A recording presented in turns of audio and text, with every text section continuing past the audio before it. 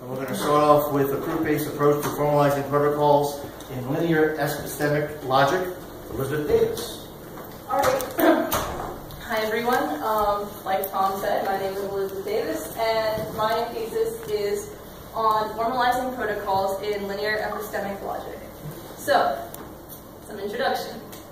Um, what we essentially did was a case study on the Needham-Schroeder-Lowe um, public key authentication protocol, which um, is a protocol between um, three principals, um, a, an approacher, a provokee, and a key server.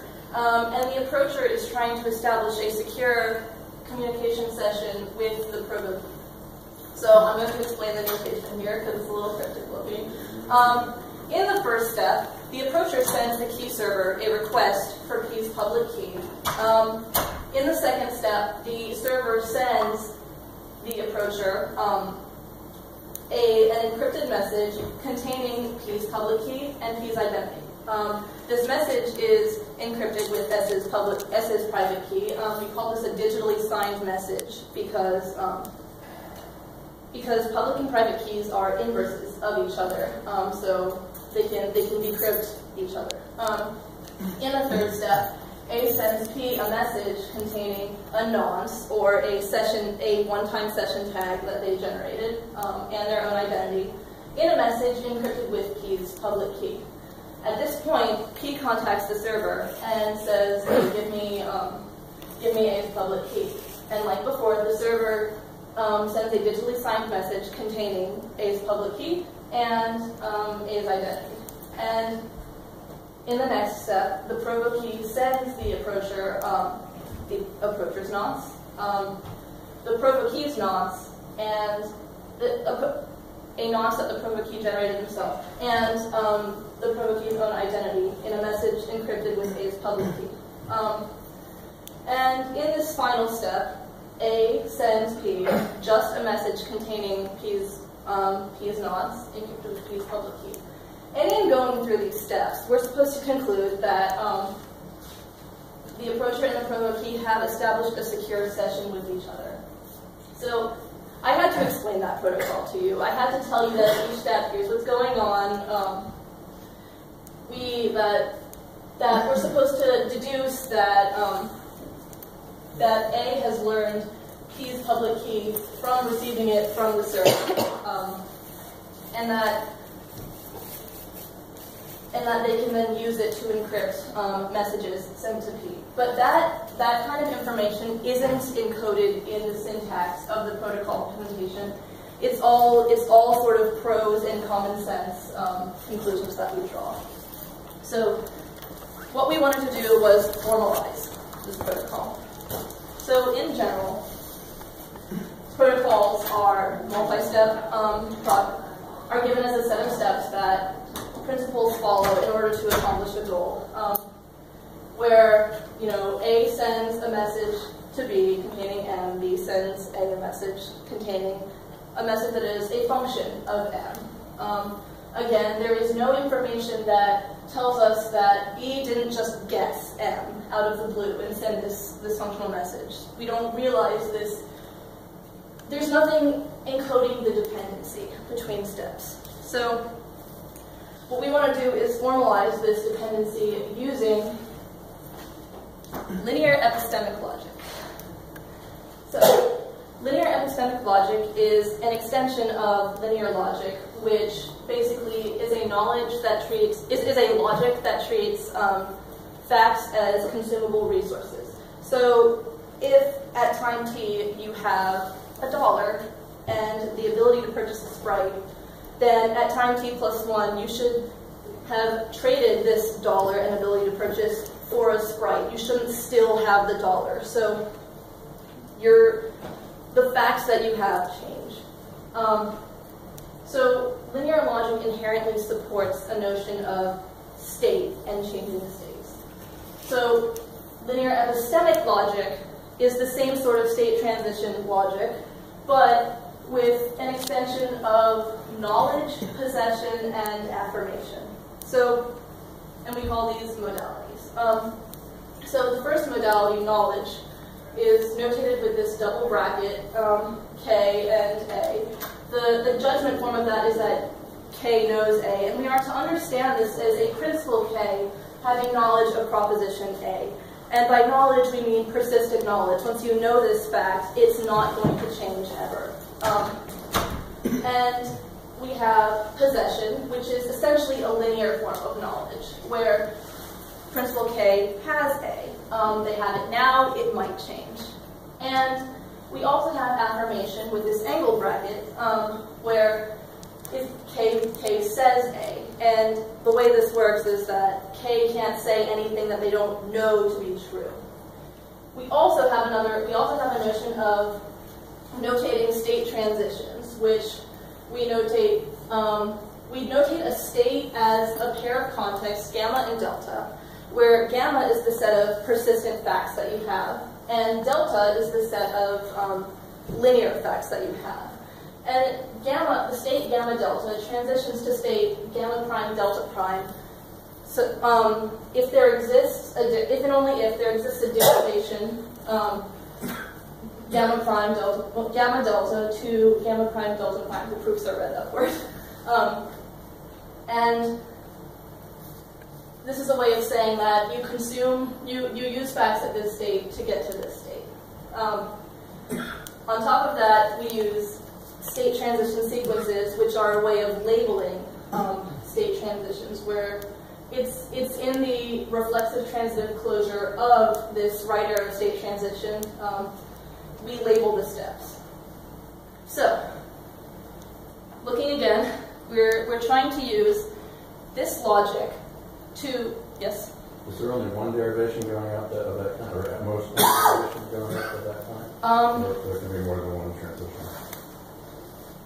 I'm not entirely sure what you mean. The, the transition, oh. maybe I don't want to be it anyway. Yeah, this this this is defined in another paper by Frank and Young. Um, so we want to express this protocol using linear epistemic logic. Um, and a little motivation for that, why do we want to do that? Why is it important that we be able to talk about the knowledge states? Um, so Needham-Schroeder-Lowe is actually a variation on the Needham-Schroeder public key authentication protocol, um, developed as a predecessor. It's nearly identical, except for in step six, when provokee sends a response to the overture, they don't include their own identity.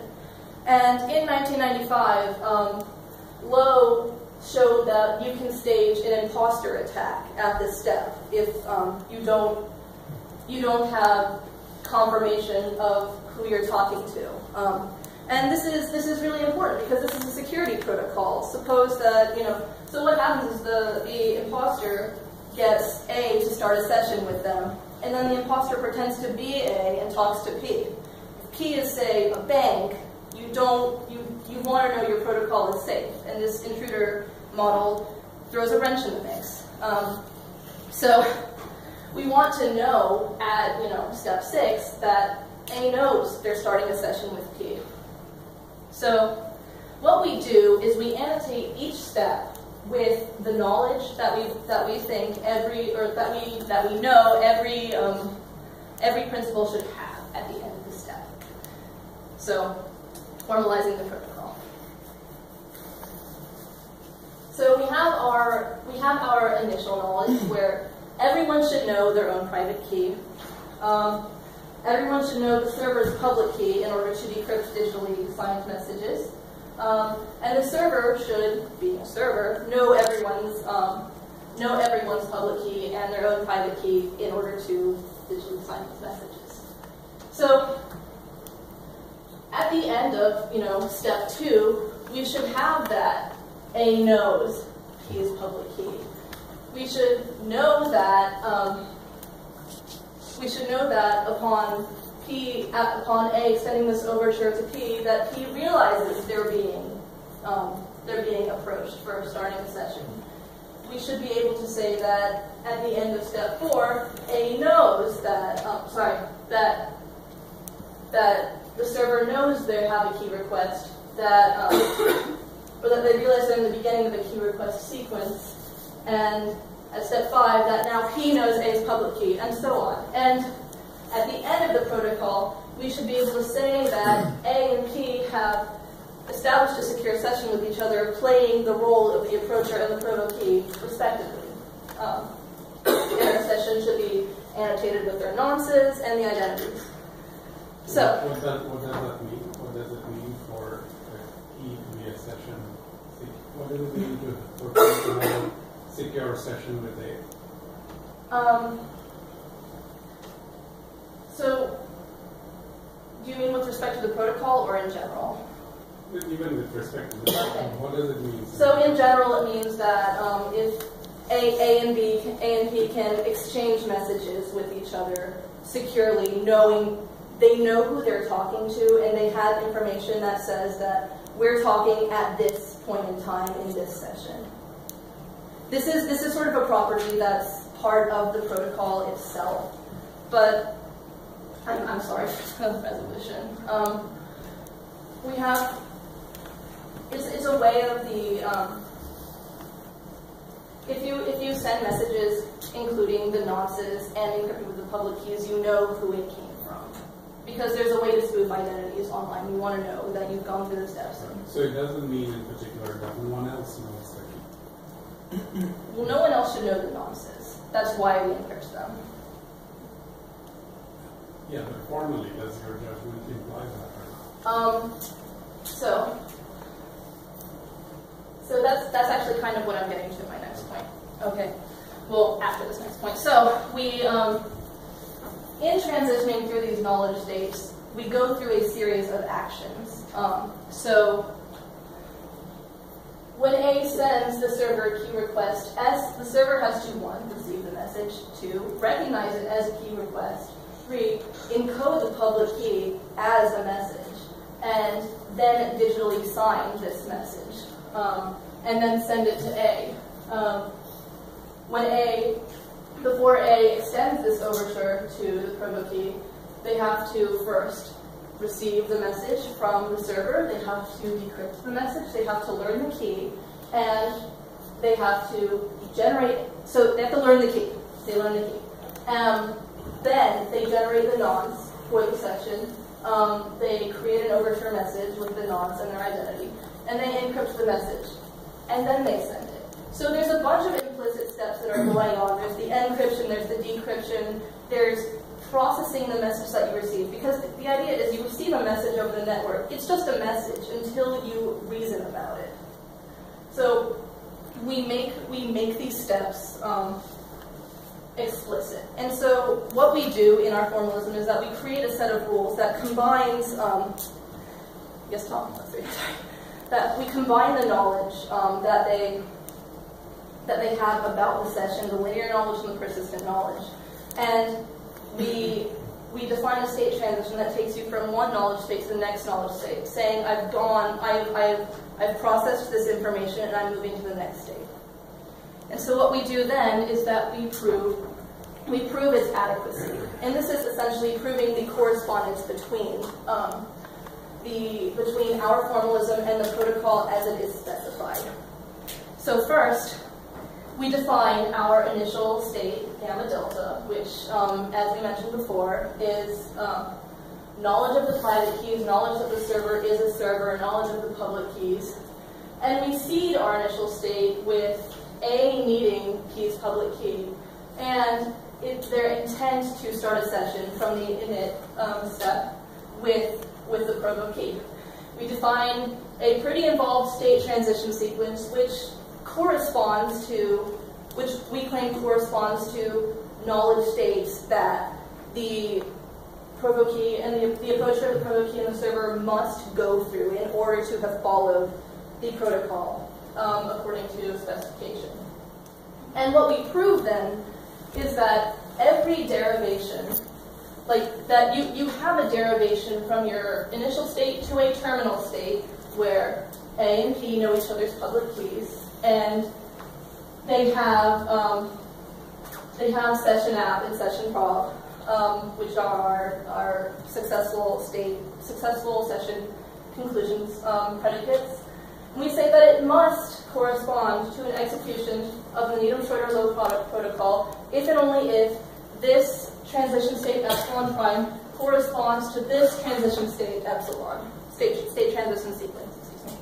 Um, so, proving that, we prove that the formalism is sound and complete with respect to the protocol. We prove that um, there exists a derivation from gamma naught delta naught to um, to the terminal state um, that follows the state transition sequence, and we prove that all derivations of this form, all, all derivations from the initial state to the terminal state, must follow the specified epsilon form. So we were able to do this, and so we were able to successfully prove these theorems, and what we've shown is that you can, you can express a protocol in terms of the knowledge state, which gives you so much more expressivity, and it makes it easier to identify vulnerabilities because of what knowledge each principal has at each step. So, that was my work for the year. I'm happy to take questions now. Thank you for listening.